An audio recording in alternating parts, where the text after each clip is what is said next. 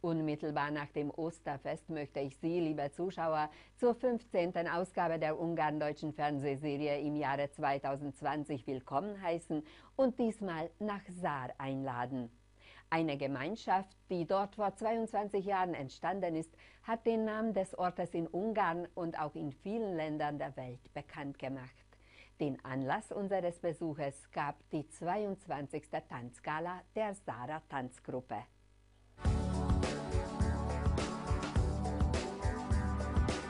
Die geografische Lage der Gemeinde Saar ist schön. Sie befindet sich auf einem Plateau zwischen dem Wertesch- und Geretsche-Gebirge im nördlichen Zipfel des Komitates Weißenburg. Saar liegt aber nicht lediglich schön, sondern auch sehr günstig, unweit einer Haupteisenbahnlinie und der Autobahn bzw. der Hauptstraße Nummer 1, die in die 42 Kilometer entfernte Hauptstadt Budapest führt. 1700 Menschen leben hier und von ihnen haben recht viele deutsche Wurzeln.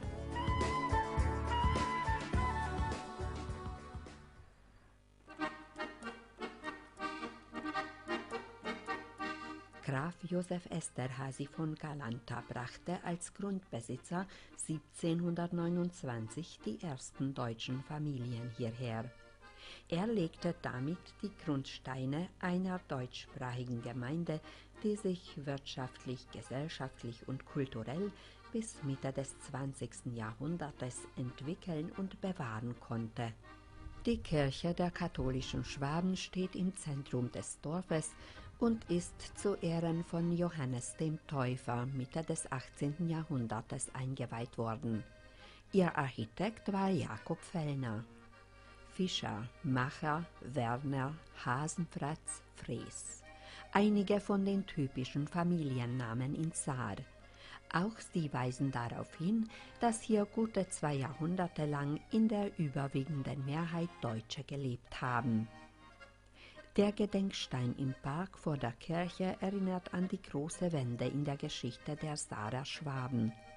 Vertreibung von 560 Personen nach Deutschland im Jahre 1946 und Umsiedlung weiterer 28 deutscher Familien nach Werteschkosma zwei Jahre später.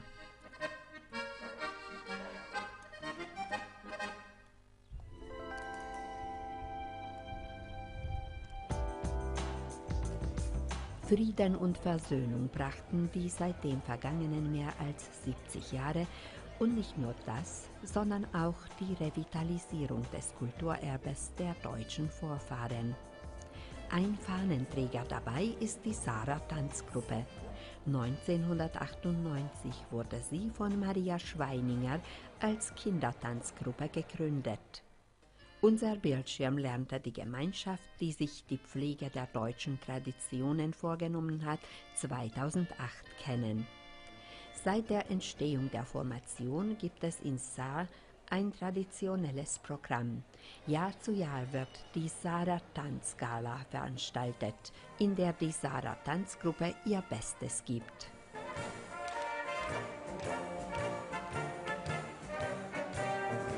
In den seit der Gründung vergangenen 22 Jahren ist die Gemeinschaft der Tänzer mächtig gewachsen. Momentan tanzen etwa 120 Jugendliche in acht Altersgruppen. In der ersten Gruppe sind die Gründer, die 28 bis 31-Jährigen, und in der achten Gruppe sind die Jüngsten, die 6-7-jährigen Anfänger. Die Sara-Tanzgruppe ist heute eine der größten ungarndeutschen Kulturgruppen. Im Jahre 2020 sind auch die ganze Gemeinde, die benachbarten Dörfer und viele Gäste aus In- und Ausland auf die 22. Gala neugierig. Die Sara Sporthalle ist bis zum Bersten gefüllt.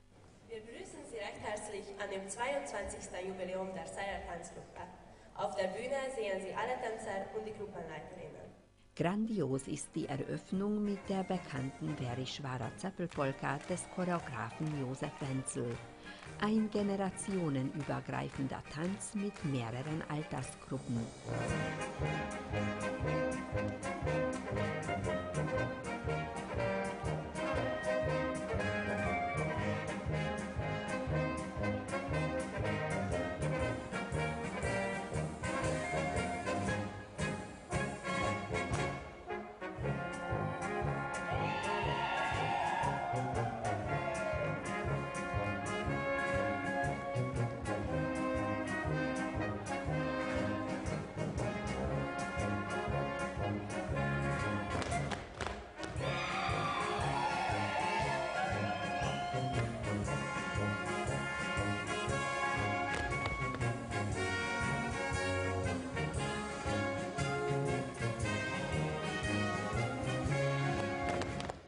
In der Sara Tanzgala gibt es Traditionen und zu ihnen gehört die Ehrung der besten Tänzerin und des besten Tänzers des Jahres. Tox Lilla.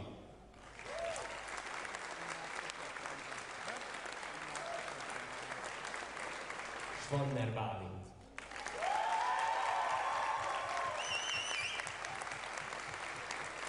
Die Jüngsten zeigen in der Choreografie Inselbaum ihr Können.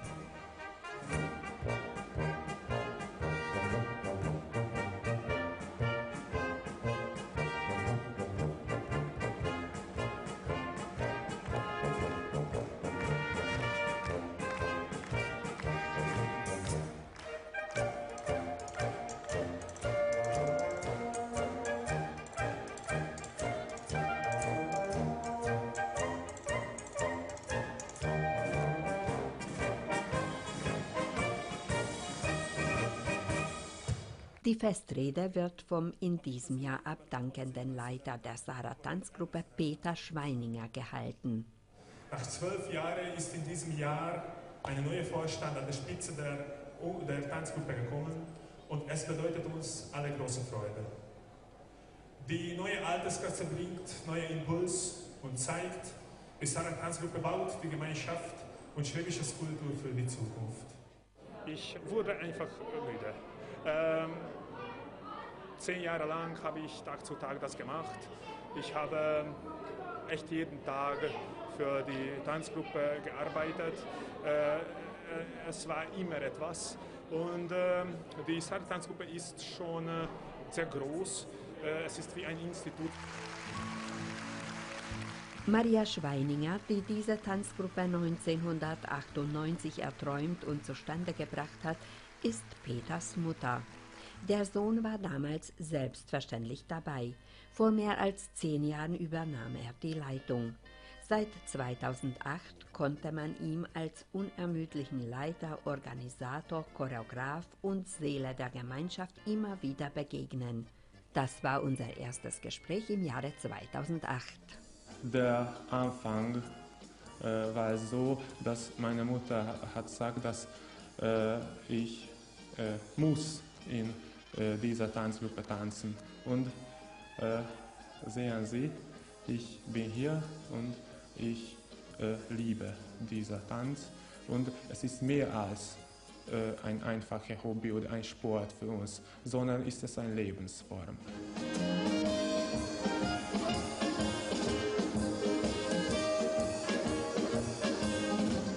Tanzgala 2013 in Saar.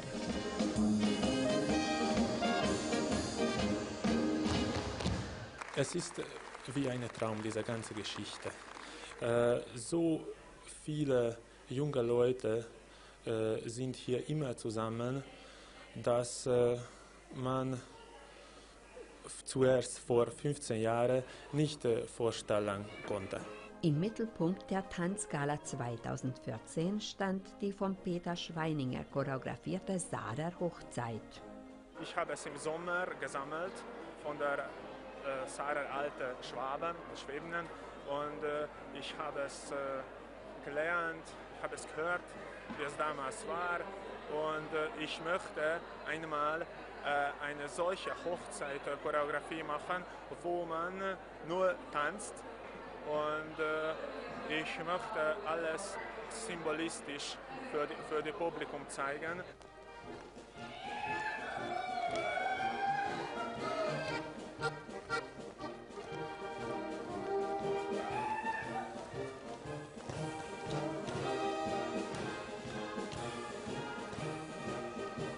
2016 hielt Peter den Teilnehmern des Welttreffens der Donauschwaben einen Vortrag über Saar. Und die Tanzgruppe führte im Dorf die schwäbische Hochzeit auf. Leid wohl, kehrt eingeladen Hochzeitsgäste. Wo Gott und Mensch wollen ein bleiben zu einem gemeinsamen Leben. Gibt es noch Tänzer, die beim Anfang dabei waren? Schon, schon. Ungefähr äh, 15, 20 Jugendlichen gibt es noch. Die, die, die noch immer Jugendlichen sind. Die, immer, die das immer noch machen. Und äh, wie alt waren damals diese Kinder? Das war eine Zehn. Kindertanzgruppe. Ja, ja, zehn, neun. So. Es kommt jetzt ein neuer Impuls mit äh, Savoy Stock und mit der neuen Vorstand. Und ich bin sicher, dass äh, für diesen neuen Schwung man, äh, man freie Bahn lassen muss. Ja, aber was bedeutet das? Nicht mehr tanzen, oder? Doch, doch, doch. In seiner Festrede stellt er die Bilanz der 22 Jahre auf. In den Qualifikationswettbewerben des Landesrates Ungarn-Deutscher Chöre, Kapellen und Tanzgruppen erreichten die Sarer viermal die Qualifikationsstufe Gold und einmal Gold mit Rosmarin. Die Sarer Tanzgruppe hat in den 22 Jahren ihres Bestehens 15 Mal an Europäade-Festivalen teilgenommen, vier Fußballturniers der GJU mitgemacht, war Organisator von sieben Weinleseumzügen, zwölf Weinlesebällen, 22 Tanzgalas, 20 Tanzlagern, drei Tanztreffen, vieler Auslandstourneen von Deutschland bis Amerika und das ist nur ein Teil der vollständigen Bilanz. Und wie viele Auftritte insgesamt? Mehr als äh, 500, wenn ich äh, mich äh, gut äh, erinnere. Und wie viele Generationen gibt es jetzt schon und wie viele Tänzer in der Gruppe? Jetzt äh, 100, 120 und äh, es gibt äh, acht Altersklassen. Was macht Peter Schweininger privat? Ich bin Lehrer Wo? äh, in einem Gymnasium in Tatabania. Geschichte und Geografie unterrichte ich. Und äh, daneben mache ich meine PhD-Diplom äh, an der ELTE äh, als Historiker.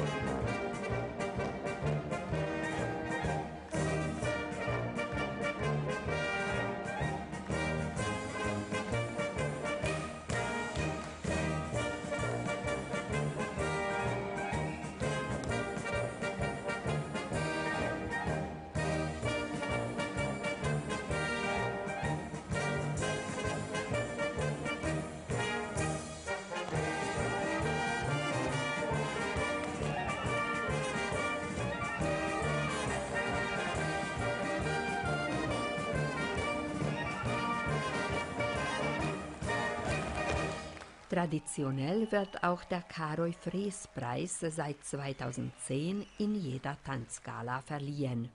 Karol Fries stammt aus einer Sara-schwäbischen Familie und war leitender Journalist des Tagesblattes Nebsobotschag.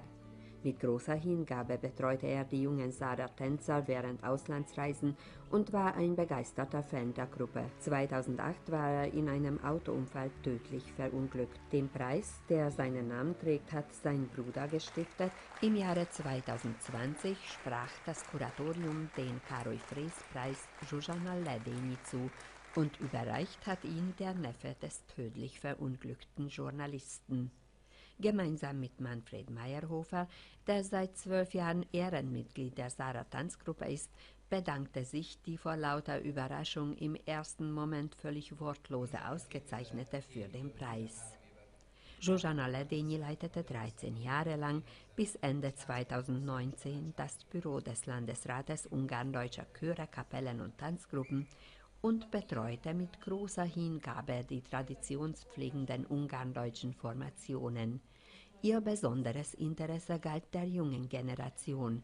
Jahr zu Jahr war sie im Publikum der Sarah Tanzgala anwesend.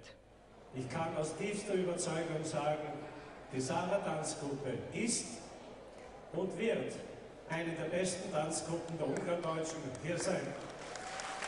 Was kann eine solche Bewegung einem Dorf wie Saar mit insgesamt 1700 Einwohnern und dieser Gemeinschaft, dieser Gemeinschaft der Jugendlichen geben? Äh, Eva, du hast es schon gesagt, die Gemeinschaft.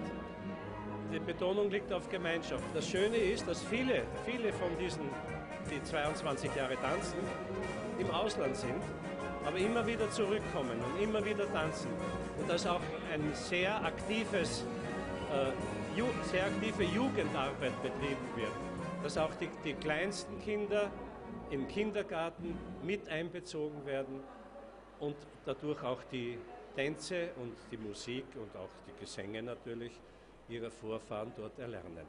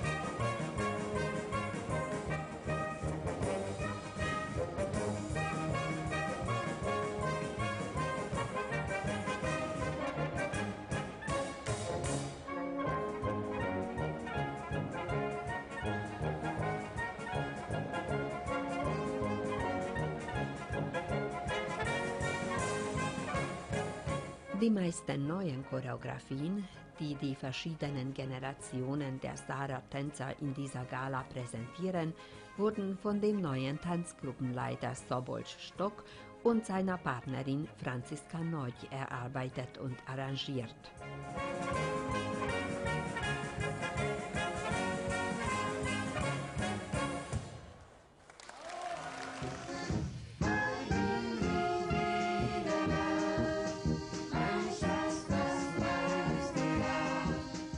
Bin 21 Jahre alt und ich tanze hier in Sarah Tanzgruppe seit 16 Jahren und seit ein Jahr bin ich der Leiter der Sarah Tanzgruppe. Und wie ist das gekommen? Unsere Gruppe äh, braucht einen neuen Schwung, neue Menschen, neue Leiter. Neue Ideen? Ja, neue Ideen, ja. Und das ist so gewährleistet, nicht? Wenn ein junger Mann kommt. Und äh, womit beschäftigst du dich so privat? Was magst du? Lernst du? Ich äh, lerne äh, jetzt in Universität in Moschon-Magyaróvar. Ich lerne äh, Wirtschaft Seit wann machst du auch Choreografien? seit sechs Jahren. Ich war ein Studium beim Helmut in Page und äh, danach äh, begann ich das.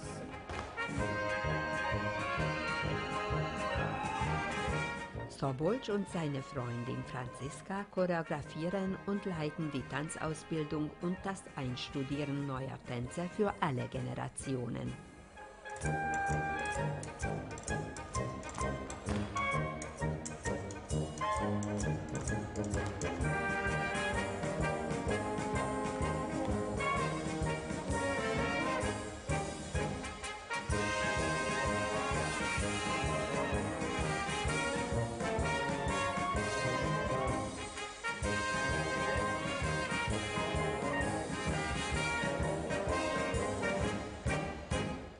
Haben wir das letzte Mal gesprochen? Ich denke, vielleicht es war bei der Sarah Hochzeit. Und was ist seitdem mit Mate Zenz geschehen? Naja, habe mit einem mit dem Fachausbildung für Neurologie angefangen. Und also deshalb bin ich leider immer mehr im Hintergrund bei der Gruppe. Aber das ist halt so, das muss so sein. Also arbeite ich schon als Arzt, als Allgemeinarzt auf Hirnschlagstation, aber noch nicht als eigener Facharzt. Und ist das in Budapest? Ja. Der, Arbeitsplatz? Ja, im Hombet-Vorhaus. Moment, Ja. Budapest. Und äh, tägliches Pendeln, Ja, oder? ja, ja. Kann man das gut machen von Sarah aus? bin dran gewöhnt. Also mein Vater hat es so gemacht und, und während der Universität haben wir das so gemacht. Also ich habe auch Tag eine, nach Budapest mit dem Auto, oder? ja, mit dem Auto. Dr. Mate Zenz ist kein Gründungsmitglied. Er trat 2003 der Tanzgruppe bei. Habe der, der erste Altersgruppe, die waren meine Mitschüler. Aber ich habe so entschieden, dass ich, ich spiele Musik, aber kein Tanz. Aber dann ist es so gekommen, dass diese gute Gesellschaft zusammengekommen ist. Wir haben einander kennengelernt und so ist es gekommen, dass dann Ja, ja, aber Musik steckt ja in der Familie. Die Mutter hat gesungen in dem Ja, die Chor. Mutter, die Mutter singt noch immer und der Großvater, der halt Knopfharmonika spielt. Und dann habe ich mit, mit äh, Akkordeon angefangen. Neben dem Tanzen konnte er auch seine Sprach-, sogar Mundartkenntnisse gut gebrauchen. Der liebe Gott hat so viel, dass ich heute von dir Abschied nehmen soll und ein eigenes Leben mit meinem Mann anfangen. Gott segne auch die liebe Geschwister. Was hat diese Tanzgruppe alles gegeben? Was gibt diese Tanzgruppe, dieser Gemeinschaft? Auslandsreisen, Freunde. Freundeskreis, Identität, das Wille hier zu bleiben. Ich denke, das ist vielleicht das Wichtigste. Hier in Saal? Ja, hier in Saal. Also das war nie eine richtige Frage. Darum, darum habe ich nie überlegt, ob es so schwer ist, zum Beispiel pendeln. Weil von hier nach Budapest, das geht nur mit Pendeln. Und hier ist sicher. Also, Hier fühlt man sich zu Hause. Ja, ja. Und auch in dieser Gemeinschaft. ja. Die kleine Bläserparty aus Turval unter der Leitung von Thomas Spette und des Dirigenten Sandor Kostas begleitete die Tänzer während des kompletten Galaprogrammes mit Live-Musik bester Qualität. Stockstein.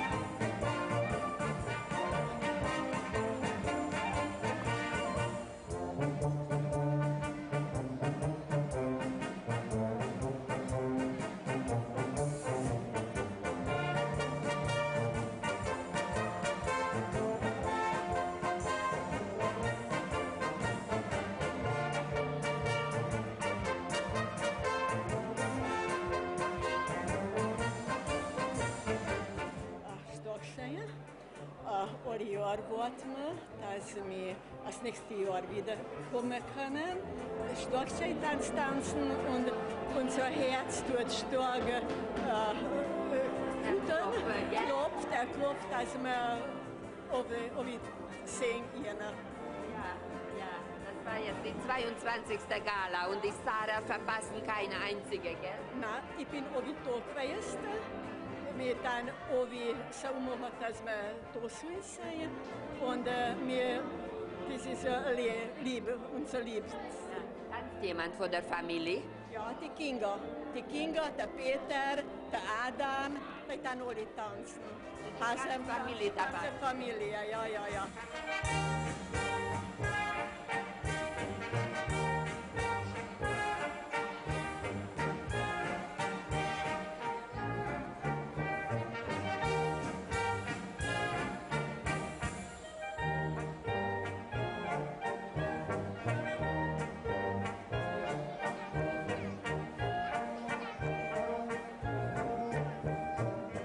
Ich habe die Tanzgruppe durchs Internet kennengelernt. Das hat mir sehr gefallen.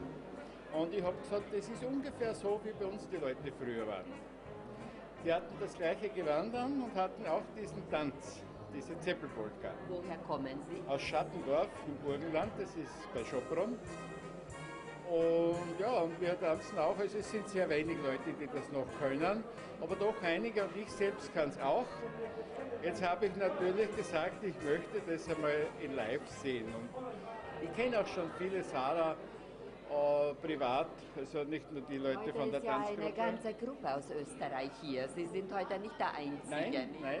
Sogar mit Ödenburgern, nicht? Ja.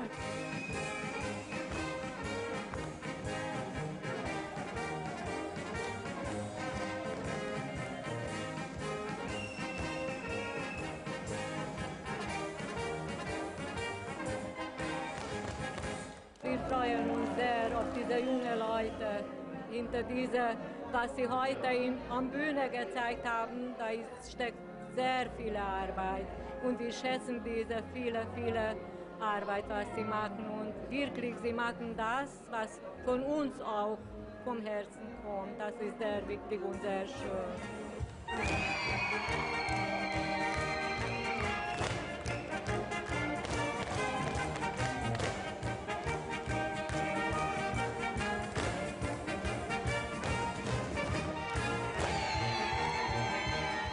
Sarah Tanzgruppe ist, wie das die Tänzer selber formulieren, nicht nur eine Tanzgruppe und nicht nur eine gute Gemeinschaft.